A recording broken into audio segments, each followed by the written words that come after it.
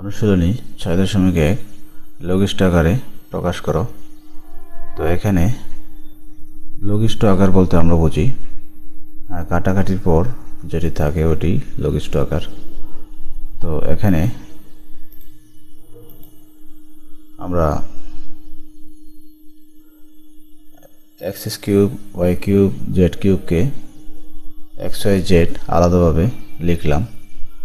অর্থাৎ এখানে এক্স এবং এক্স স্কোয়ার গুণ হয়ে এক্স কিউব হবে ওয়াই ওয়াই স্কোয়ার গুণ হয়ে ওয়াই কিউব হবে, অর্থাৎ এভাবে লেখা হয়েছে আমাদের কাজের সুবিধার্থে, অর্থাৎ আমরা যাতে কাটতে পারি সহজে। তো এবার এখানে উপরের x square y square z square নিচের x square y square z square কাটা যায়। তাহলে থাকে এক্স ওয়াই জেড এটি অ্যান্সার এক এবং দুই একই নিয়মে করা যায়, তোমরা নিজে করো।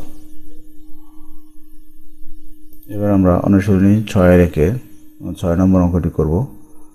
লঘিষ্ঠ আকারে প্রকাশ করো। তো লঘিষ্ঠ আকারে প্রকাশ করতে হলে আমাদের উৎপাদক বের করতে হবে, তারপর কাটাকাটি করতে হবে। এখানে উপরে লবে দেখা যাচ্ছে আমাদের, এখানে টু এ, এখানে ফোর এ বি অর্থাৎ এখানে একটি টু কমন যায়, এবং এখানে এ আছে, এখানে এ আছে, তাহলে টু এ কমন নিতে পারি। এবং নিচে ওয়ানকে ওয়ান হোল স্কোয়ার লেখা লিখলে ওয়ানের মান পরিবর্তন হয় না। তো টু বি স্কোয়ারকে টু বি ফোর বি স্কোয়ারকে টু বি হোল স্কোয়ার লেখা যায়। তো এভাবে টু এ নেওয়া হয়েছে যে টু একে টু এ দ্বারা ভাগ করলে one plus a minus a minus four a বিকে দুই দুগুণে চার এ এ কাটা যায়, থাকে পি এবার এখানে দুটি রাশির বর্গের অন্তররূপে আছে।